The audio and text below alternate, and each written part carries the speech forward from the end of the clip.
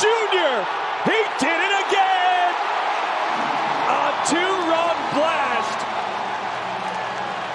And it's a 5-3 White Sox lead. That's two different at-bats where Luis just kept spoiling pitches he couldn't handle before finally getting one he could.